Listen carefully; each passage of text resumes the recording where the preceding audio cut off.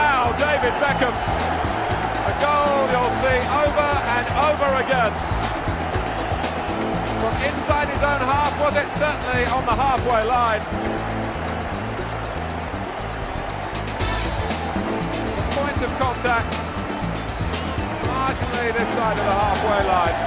And that is truly outstanding.